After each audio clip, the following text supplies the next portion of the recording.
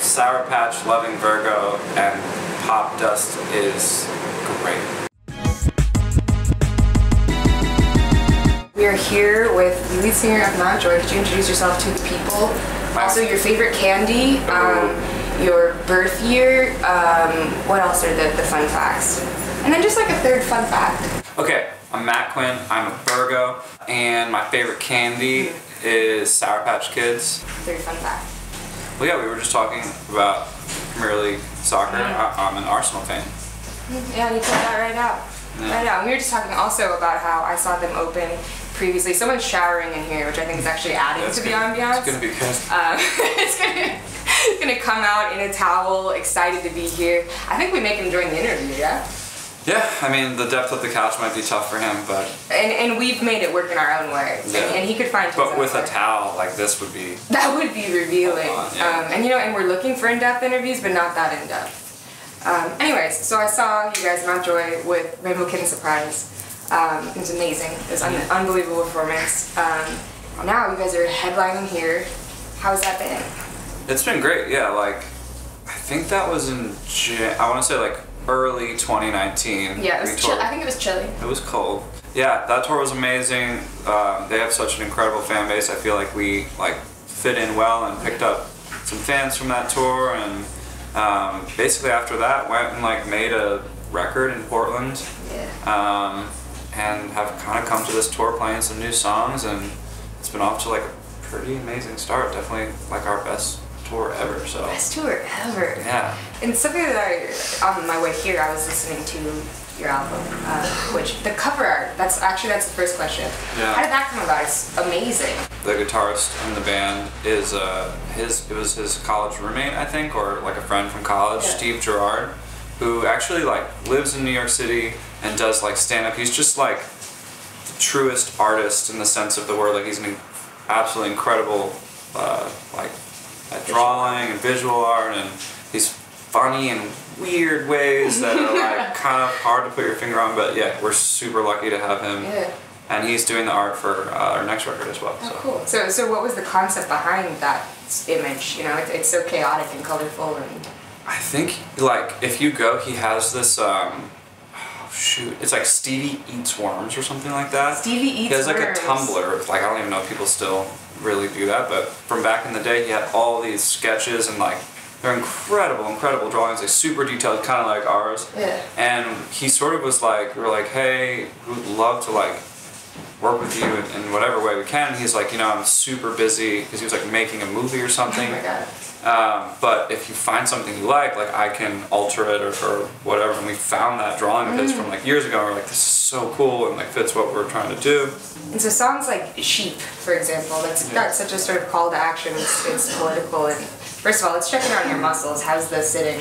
Yeah, so like I haven't sat cross-legged since like the 90s. Right. Uh, and I've grown since then. So it, it's painful, but I feel like the couch. Do you think you maintain? Yeah, yeah. Okay, I think we stick with it. Anyways, so songs like that, songs with that sort of message and uh, you know, social justice calling. Where does that come from? How is that created? honestly, after we wrote the song, the sort of epidemic with just police gunning people down, uh, specifically people of color, uh, and just that was right at the time of the election. So it was like, you know, is Trump going to become the president?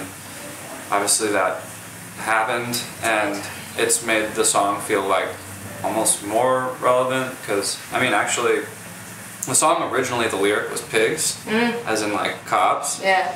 Um, and then we sort of shifted it because we realized it's like there's just this larger thing of people being total sheep to these mm. like completely like I mean for us it just felt like someone voting for Trump isn't doing that because of any sort of ideology of their own or any like belief system other than that they don't like the other person right? And so they- they're just totally following this guy down a path of destruction for no reason other than that they want to give the middle finger to somebody Right.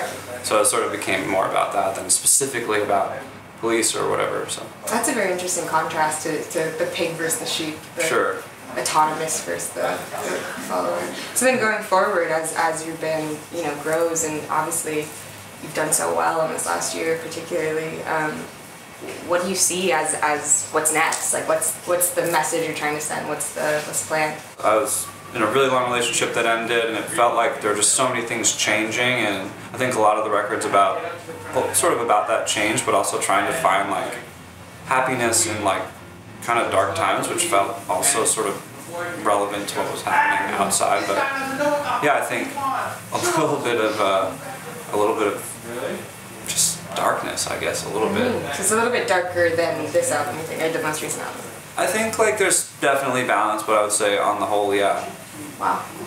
For you, you know, this is a such a specific life to choose, and how did that come about? Where did this come from?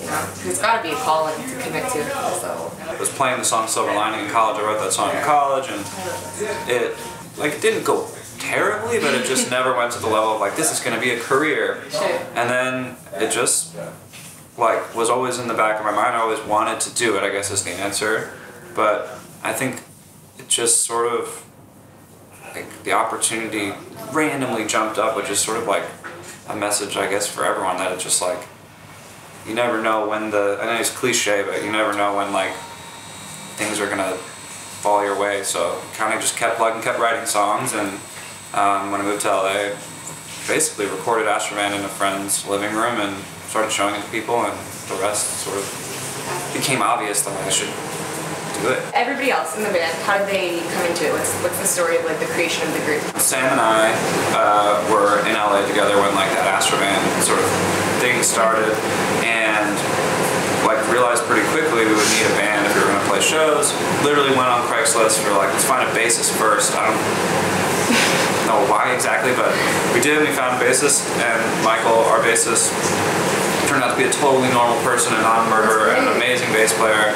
And he was super connected to a bunch of people in like the LA music scene, and he immediately was like, um, I know who I want to be the drummer, and Satiri is like really deep in the ocean right now. Yeah. he's all the way down the train Uh, but he was our drummer up until today, and then. Um, before the shower. Yeah. Right. And then um, Jackie, who is an incredible piano player, just like again through I think just through meeting people kind of in LA, we were just hanging out, Yeah. telling everyone we needed a piano player, and finally um, told the right person. He was like, I know someone. Thank you so much. So this has been Matt Quinn. yeah. Yes. Give up Oh, Outro. and I'm a sour patch loving Virgo. But you guys say something about Popdust. oh, I'm a sour patch loving Virgo, and Popdust is great. Dusty. Dusty. Dusty. Nailed it.